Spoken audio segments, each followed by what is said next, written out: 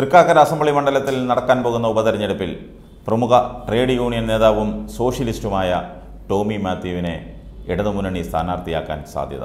ആ രീതിയിലുള്ള പ്രാഥമിക ചർച്ചകൾ നടന്നു കഴിഞ്ഞു.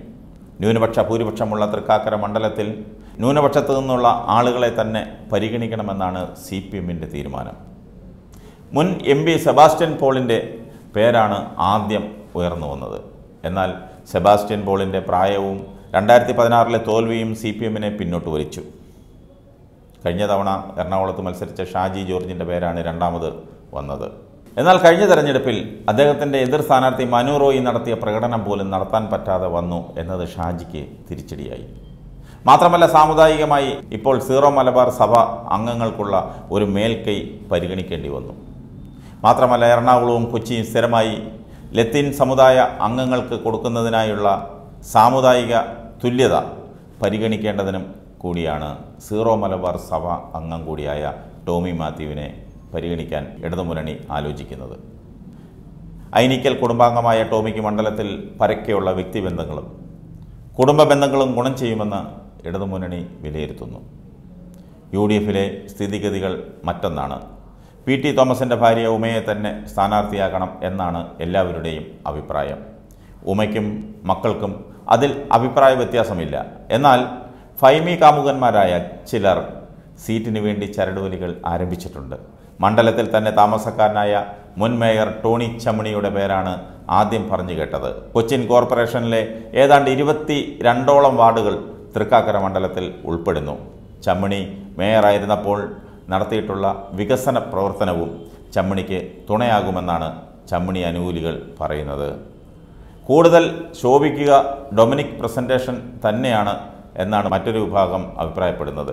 ഡൊമിനിക് പ്രസന്റേഷന് മണ്ഡലത്തിൽ ഉടനീളമുള്ള ബന്ധങ്ങൾ ചൂണ്ടിക്കാണിച്ചാണ് ഡൊമിനിക്കിനെ അനുകൂലിക്കുന്നവർ അതിനുവേണ്ടി വാദിക്കുന്നത്.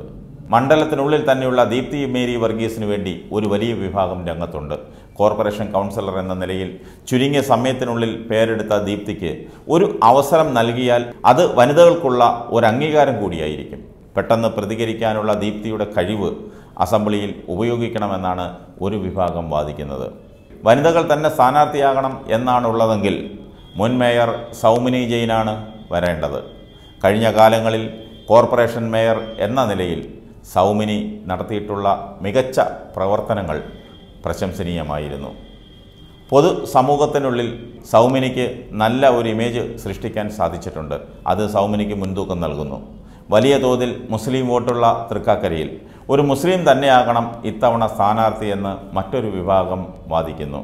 നാൽപ്പതിനായിരം പരം മുസ്ലിം വോട്ടുകളാണ് ഇവിടെയുള്ളത് അത് ഒരു പെട്ടിയിൽ വീഴാൻ സഹായിക്കുമെന്നാണ് അതിനുവേണ്ടി വാദിക്കുന്നവർ ചൂണ്ടിക്കാണിക്കുന്നത്.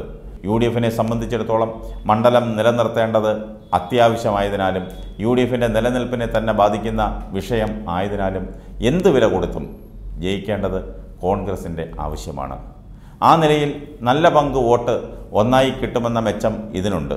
അങ്ങനെയാണെങ്കിൽ D C C president Muhammad ഷിയാസിനായിരിക്കും മുൻതൂക്കം കിട്ടുക. ചുരുങ്ങിയ കാലം കൊണ്ട് നടത്തിയ സമരങ്ങൾ ഡി സി സിക്കും ഷിയാസിനും നല്ല പേരാണ് നേടിക്കൊടുത്തിട്ടുള്ളത്. എൻ ഡി എ ഇത്തവണയും ബി ജെ പിയുടെ സജിയെ തന്നെ പരിഗണിക്കാനാണ് സാധ്യത. എന്നാൽ പ്രമുഖ പി ആർ വർക്ക് ഏജൻസി നടത്തുന്ന സ്മിത മേനോനെ പരിഗണിക്കണമെന്ന് ഒരു വിഭാഗം വാദിക്കുന്നു. ട്വന്റി ട്വന്റി ഇത്തവണയും സ്ഥാനാർത്ഥിയെ ഇറക്കും.